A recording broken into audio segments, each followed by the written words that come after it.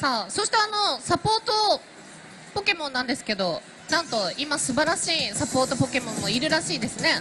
はいそうですね。今だけキャンペーンやっていましてキャンペーン中はジラーチとエルフーンのサポートポケモンを、えーとゲットすることができます。おお7月ということでジラーチもね七夕にこうね関連するポケモンということでございますかはい。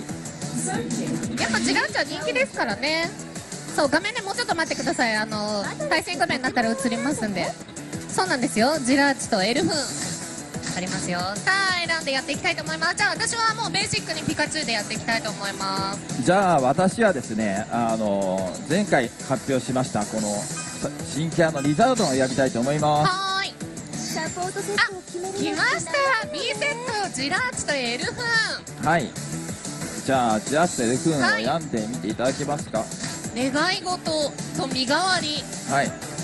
じゃあ自分はスターチャとラプラスのセットやりますね。はい。はい。よろしくね。うわーちょっとジラッと早く見たい。さあじゃあちょっとあの説明も含めながら。そうですね、はい。初めての方もいらっしゃると思うので、うん。まずこの1戦目はゆっくり説明しながらプレイしたいと思います。はーいさあこちらのマグマのステージですね。そうですね。このマグマステージもいっぱい背景にポケモンがいますんで。そうなんですよ。ポケモンファンにはたまらない結構ね後ろにはい。ポケモンがたくさんいるというね。ちのサポートで行くあ来ました。じゃあジラーチを選ばせていただこうかな。はい。じゃあ自分はそうですね。じゃあスタージあげたいと思います。はいサポートポケモンも呼べる状態であればボタン一つでねはいそうですね。まずこの最初はこのフィールドフェイズというフェーズになります。このフィールドフェーズでは自由に歩き回ることができて今のようなこの飛び道具であの牽制したり。はい。で今あのデュエルフェーズになりましてデュエルフェーズで変化技を出すと、はい。このようにデュエルフェーズに移行します。はい。デュエルフェーズですといっサポートゲームがおおぱいこうデュエルフェーズでダメージを与えるはいすごいコンボですね。どこかで見たことあるような、ピはい。カチュウの技。でも本当にボタンもあの、はい。A ボタン一つでこのポケモン技が。そうですね。A ボタンでポケモン技が出ますしこのはい Y ボタンのジャック攻撃を、まあ、試しに連打してください。そうすると連打するだけでこのように、はい、おコンボが自動的につながるようになっています、り初心者の方でもやりやすいですよね。はい、今の雷ですね。雷とはい、空中でボタン一つで出すことができました。はい。さあじゃあちょっとジラッチ呼んでみましょうか。そうですね。たまりましたね。ぜひジラッチ呼んでみてください。ジラッチえっとわ今のでバーストゲージがいっぱいになりましたね。本当だ。表面ゲージがいっぱいになりましたのではい。ぜひ。使ってみますか、はい。LR 同時押しですね。はい。さあかなり状態が強くさあなる表面バースト状態だと攻撃も強くなるし。あおピカチュウこれは当たりました。バーストアタックがヒットですね。いきなりコンボですね。いやーかっこいいですよピカチュウがこんなにね。さあ気持ちいいです。この表面バースト中は攻撃力も防御力も高くなってるんです。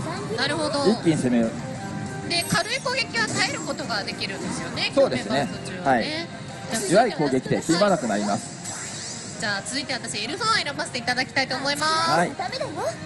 はい。で自分の方は負けたのでここで応援が入りましたので両方のサポートポケモンのゲージがマックスになりました。はい。じゃあ次ラプラスの方選んでみたいと思います。はい。で自分の方はもういきなりサポートゲージマックスで始まってるのであ本当ですね。はい。いきなりラプラスを呼びつつ自分もはい。ラプラスと一緒に攻撃みたいなこともできたりします。はい本当にガードがあの R ボタン一つでガードができるのでこんな感じで,、そうですね。R ボタンを押すだけで全ての攻撃をガードすることができますがつかみ攻撃だけはガードできないんですね。あじゃあちょっとガードしてみますね。はい。ガードして相手にはつかみ攻撃が有効です。このフェーズのチェンジは特定の技を当てるとみたいなのはあるんですか？はいそうですね。つかみ攻撃だと大抵のつかみ攻撃でフェーズ変化することができます。あエルフーン呼びましたこれ。はい N フンはあのと相手の飛び道具を完全に防ぐことができます。あ飛び道具を防ぐ。はい。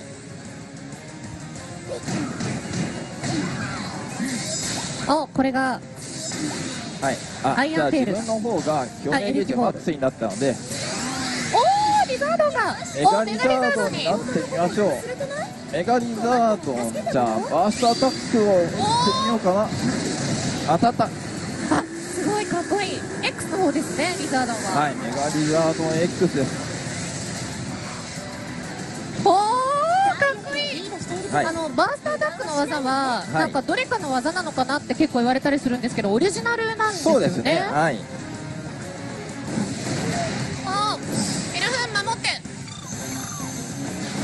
あーもう本当だ。全て防いでくれますあ結構ある限りずっと守ってくれるんですね。見てなかった次で勝負が決まるよ。最後は好きなサポートでいこはいじゃあ自分はスタージャーを選びましょう。はい。